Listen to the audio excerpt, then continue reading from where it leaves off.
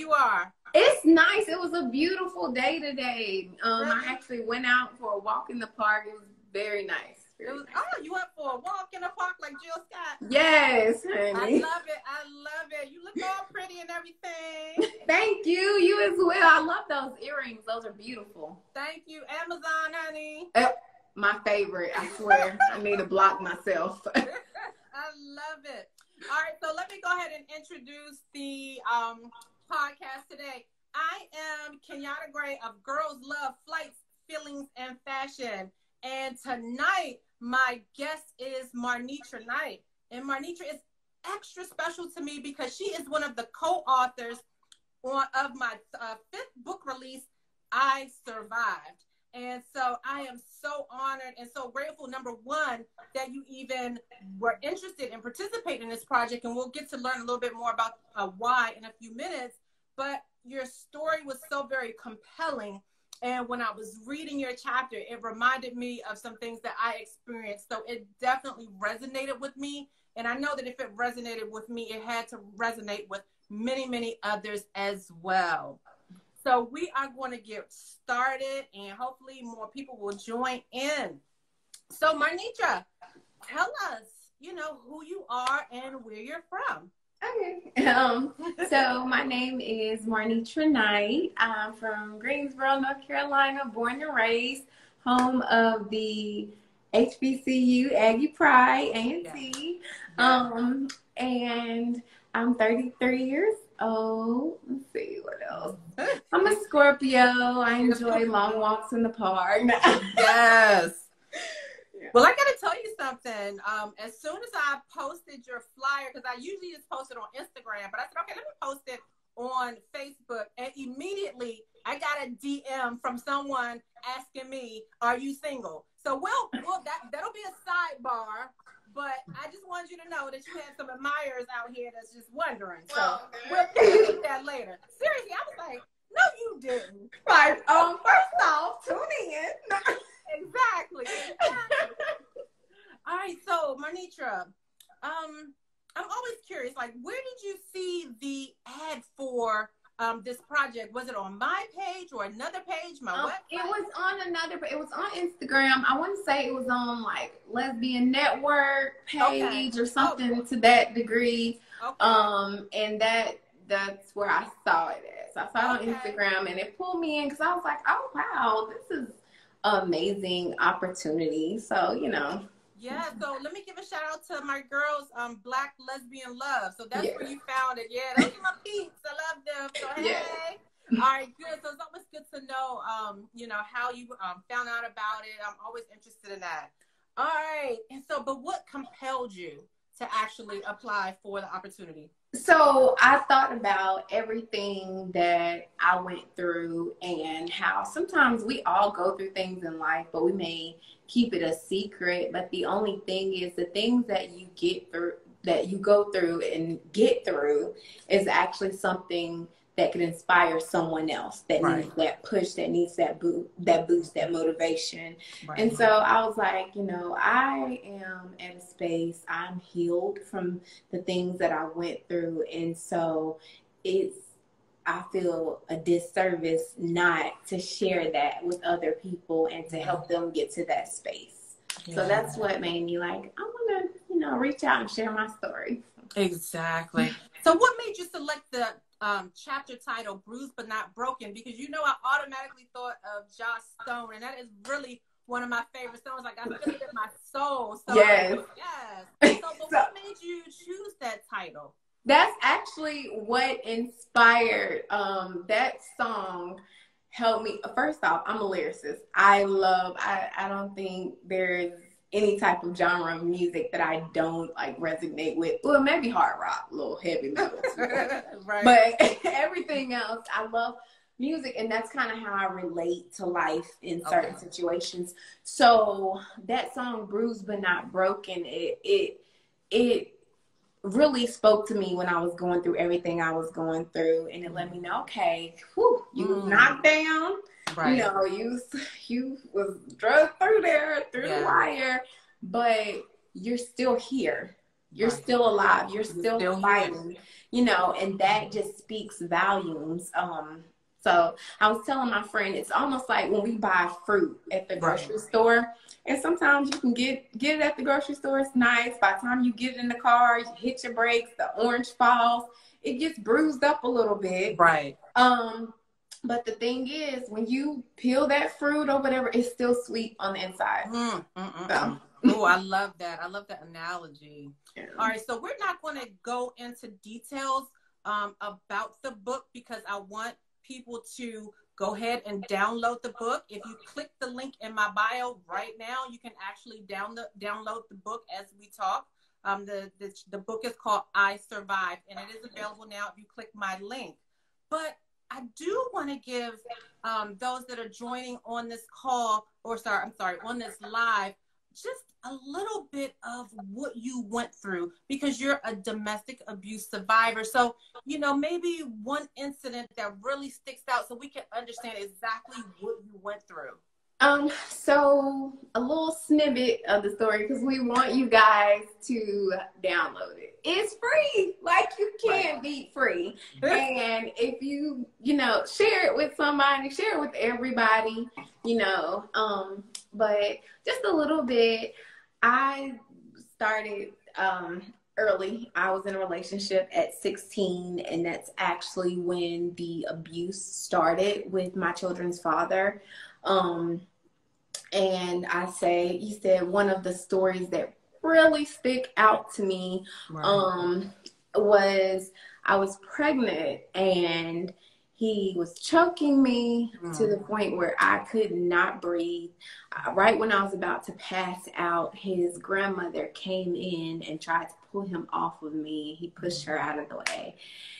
And we're gonna stop there because you guys are gonna download the book and get more. That's right. Exactly. Oh, that that is it's it's a cliffhanger, but you definitely like my heart is pounding because I can imagine like the fear and you just didn't know what was going to happen next. So yeah, definitely, guys. I want you to go ahead and go download the book right now. Yes. And so, you know, when you were um because you already said that you were 16 when and so that's very very young. So to me similar to me that's your introduction to love and relationships. Yes. You know and so that that's um that's uh, not good. You know what i mean? Yeah. that's not a good introduction because that's not what it's all about. So how did you um what did you tell anybody when you were going through this so young? Did you mm. tell anybody or did you keep this a secret I kept it a secret because I thought, okay, maybe I did something wrong. Maybe this is my fault. Let me not say things to him this way. Let me not do things this way. Let me not, you know, mm-hmm. X, Y, Z. You know, almost like a checklist until yeah. you get to the point where you're like, okay, I'm I'm walking on eggshells. Right. And then you realize that it doesn't necessarily have anything to do with you that that's someone else's stuff that they choose to project on you. Right. however you have to get to a point where you're like i choose me. I love me. And in loving me i can't subject myself to that behavior. Right. You know? That's so i didn't i didn't tell anyone. I kept it to myself until i got to the point where i really was like okay enough is enough. And that's right. when i reached out and was like, mm-hmm. I gotta, I gotta get out of this. Right. And you know what? Sometimes I think that people don't tell what's going on because they feel like, well, what's going on in my household is my business. And then secondly, they want to continue to project this image that everything is okay. It's something dory, we in love, but behind closed doors, they are going through some things that we wouldn't even imagine. Mm-hmm. So it's um, you know, I don't know. You know, I think that at some point, someone needs to say something, you know, when they're going through um, these kind of incidents. So, you know, at any time, was this your first and first and last um, abusive relationship? It was. It was oh, my first. Okay. Yeah. Yes. yes. You didn't have to go through uh, for ten years and figure out, oh no, that's not for me. Okay. Yeah. Now it went from the age of like 18, no, excuse me, from the age of 16 to like 22, 23 in my late twenties. So it went for a while. But, right, but that's because you were so young and you yeah. were, I mean, you're still trying to figure out, well, is this love? I mean, yes, adolescence, like, right. hmm, is this the way that this works? Like, right. no, I need a manuscript. No, exactly. exactly. Oh my God. So, any time, though, in in that relationship, did it ever get to a point where you actually feared for your life? Definitely. Um, definitely on my 18th birthday, I was in the ER. Like I tell people to this day, that's a birthday. Cause you know, that's like, you're an adult. You Your are, birthday. you know, you can't wait. You like, oh, 18, I can right. go to the store. And I don't even smoke, but he's like, I can buy cigarettes if I want to. I, I didn't, but you know, right. you can go to the club, you can do things. And so you're so excited because you're still um a, you're still, you know, adolescent. Right. But you're not quite grown yet. Right. Um, and so most people are like, so that's a major birthday. It's usually yeah. 16, 18, 21, yeah. etc. Yeah. My 18th birthday, my eyeball was hanging out of my head, like, and I didn't know what was next. I didn't know if, you know, I was gonna make it. Right. Um, and still, you know, that e- even in being in fear, there was something in me that still stayed. Right. I, you know, it's like, oh, oh gosh. But yeah, that was one of the times I definitely mm-hmm. which actually I believe that story is one of the ones that I speak about in the book, you guys. Download the book. Download the book. So I know, you know, a lot of times women stay and, you know, people have all kinds of reasons, but a lot of times it's um, due to um, uh, financial support, financial reasons. Mm-hmm. And they really can't picture themselves um, being able to make it or survive without this person. And so they continue to stay in those types of relationships. So uh, I applaud you you know, for being able to come to terms with something. And that's what you're going to tell me. What was that turning point, that light bulb that went off in your head? And you were like, oh, hell to the no. this is not going to be how this story ends for Marnitra Knight. Yes. So, it, I'm saying this because everybody's um, journey is different. Right. You may have a turning point and then go back and then right. you know we all do our things. But the thing about it is there was a point where my daughters um, started to see it and I knew as a parent, okay, mm. Nitra, if you can't choose you, you have to choose them because they didn't choose to be here. Yes. Um, and you don't want them to think that that's what love is because exactly. you know it's not. You know, even though yes, you did start this young, right? You know, you were being grown, whatever. The point is, as you get older, you you get wiser, and you're like, I don't want them to think that this is okay because it's not okay for me.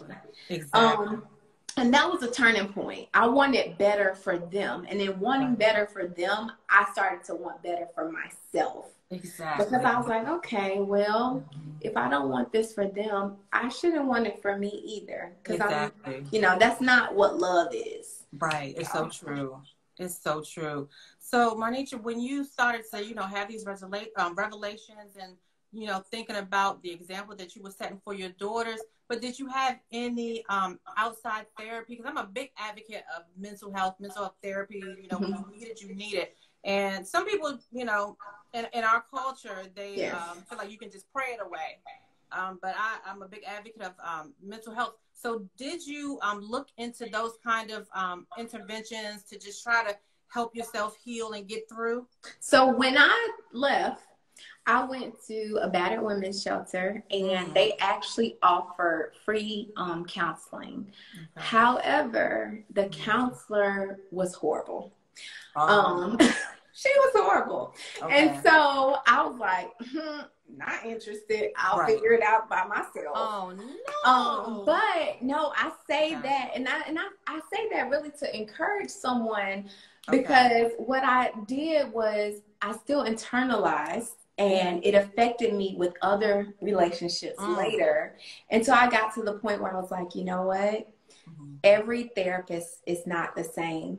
And I have to do that for me. Yes. And so I reached out. I'm currently um, in therapy, and she is amazing. Yes. Um, she's oh, amazing. Good. And okay.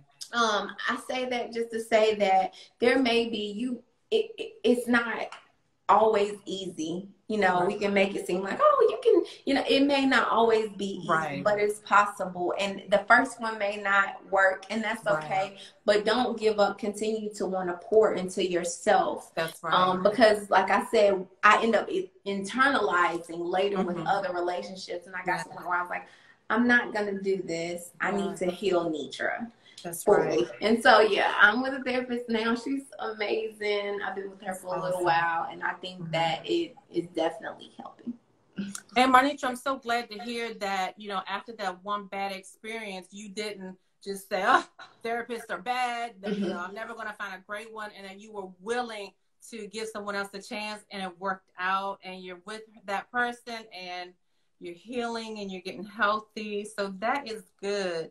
So that is the part of you and the part of the story that makes you a survivor. Yeah. So now we want to up it up a notch. But wait a minute, before we up it up a notch, I want to know um, if someone's on this live right now and they are going through um, and you know they're in abusive relationship. No matter what the makeup is woman woman man man man woman you know do you have any um, words of encouragement for those individuals? Um i do. Um so i tell one of my best friends because she just got out of a situation and i tell her this that so I grew up in the church. I'm not religious, I'm spiritual now. Right. But um, one thing I do love um, is the scripture, First Corinthians 13, 4 through 8. And it talks about what love is. Yes. Love is patient. Mm. Love is kind. Yes. It doesn't envy. It doesn't boast. Like, and the thing about it is, if you don't feel that, Mm. It's okay to leave. It's okay to choose you. We grow up in a society where we're taught that being selfish is wrong. But the right. thing is, sometimes you have to choose self because yeah. if you don't, then there's nothing left. It's you true. know, love is not putting hands on someone, not even just hands, but verbal abuse. Love is not you stupid, you're fat, you're no, that's not love. That's not that does it makes you question does the person even like me if they speak to me? Exactly. Love is reciprocity. It's mm-hmm. a give and take and not a heavy burden. Mm-hmm. And so mm-hmm. the thing is, if you feel those things, it's okay to choose you and mm-hmm. it's okay to leave. It doesn't mean that you don't love that person. Sometimes you love them enough to know the situation isn't for us. That's if, right. And that's okay. Mm-hmm. So Ooh. that's my words of wisdom. I, oh, I feel that in my spirit, my Nitra. And just like you said, just because you choose you, you choose what's best for you, that does not make you selfish. Mm-hmm. And people need to really understand that. That's a key takeaway. I absolutely respect that. So, Marnitra, so not only are you a survivor, you are a thriver. Yes. So tell us, and this is not your first author gig, honey. You are already an author. You author before I, you met me. So tell us about your book that you already, because I remember I was emailing you or texting you. You were like, oh, wait a minute, hold on. I'm, I'm at my book signing. I'm like, oh, oh, excuse me. So, tell us about your new release and okay. what you have coming up in the future. Okay, so I am an author. Yeah. Um, I have my book, Vibrational Essence. Uh, 30, 32 poetic reflections. I don't know if you guys can see it, but um, the link to purchase it is in my bio. It's twenty dollars. That's practically yeah. free. Yeah. Um, and it's it's such a great book. It's for anyone going through anything. It literally is 32 inserts. Um, mm. and it covers it covers domestic violence, it covers mm-hmm. adolescent experiences, it covers relationships, cancer, um, mm. just different different things. And right. what it really was was a release for me. Okay. Um, after um, my late husband passed away, mm. I I needed an outlet, and poetry right. has always been that for me. So it's a great, great book. Um, and mm. I just encourage you guys to get it. And like I said, I, it's a it's a great release. It's a great yeah. therapy. Yes. So Marnitra, I will be placing my order tonight because I definitely would love to um, just read more about you know what you've been through and I, I want to support. Thank so you. I will definitely be placing my order tonight because I didn't realize that it covered so many different topics.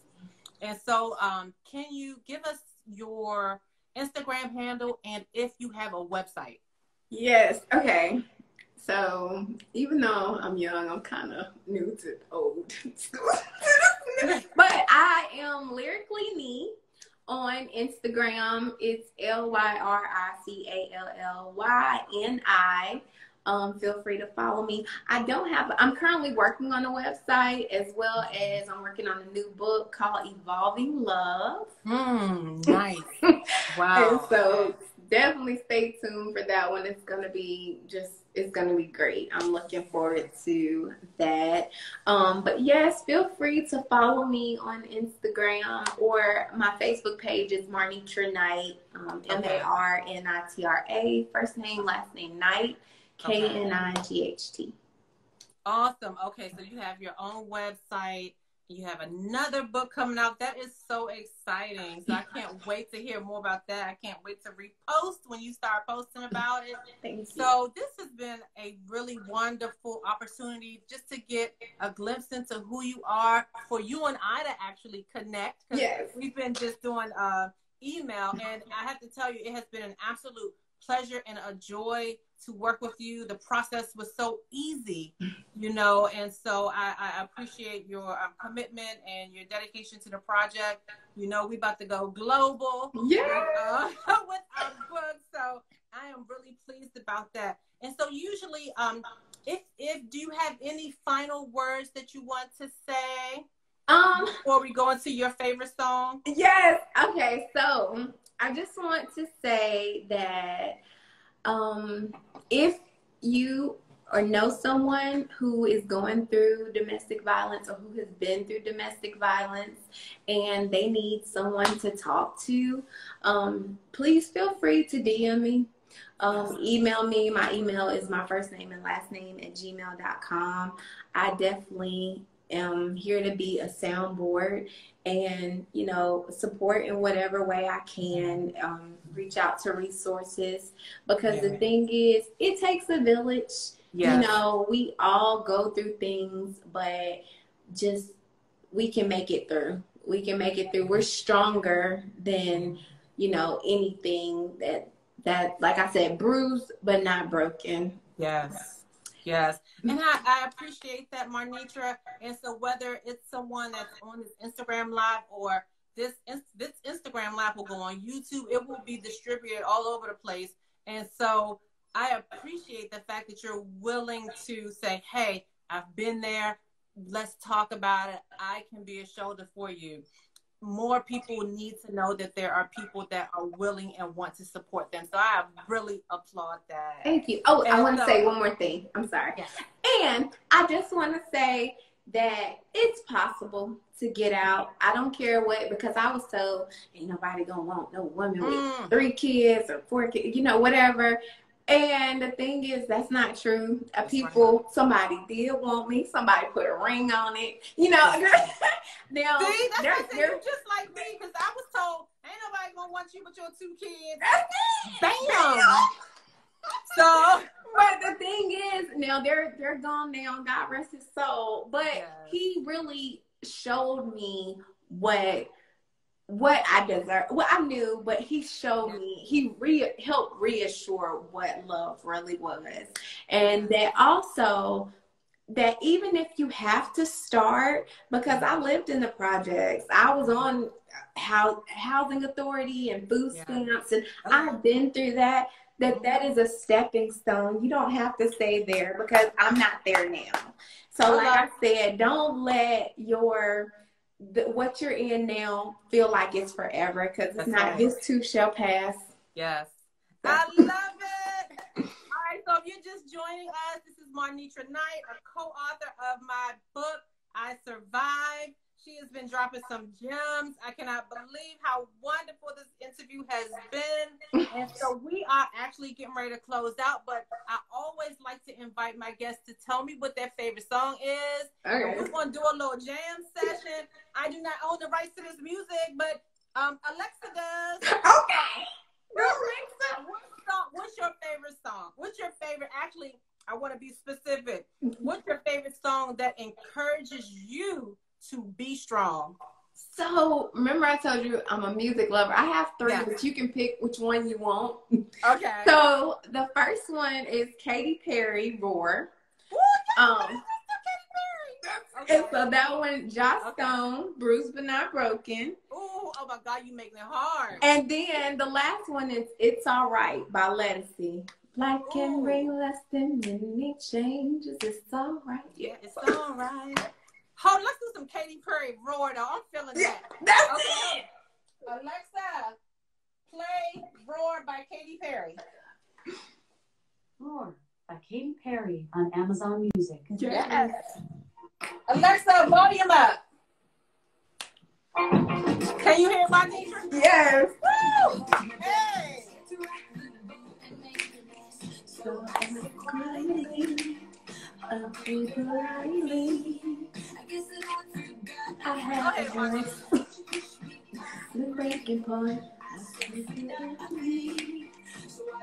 but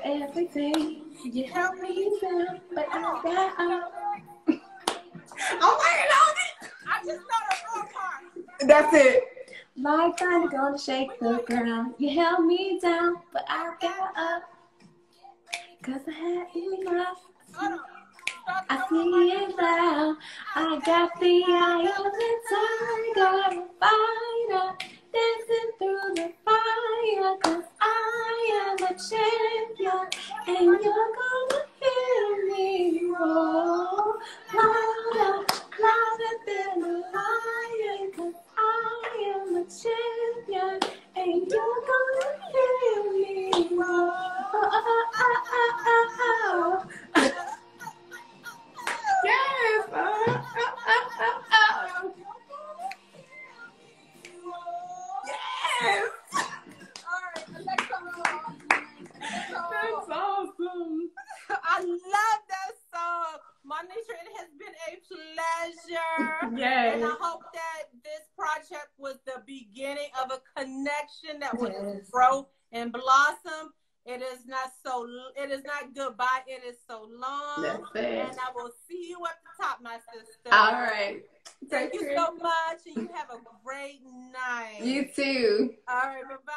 Bye. Thank you, everyone.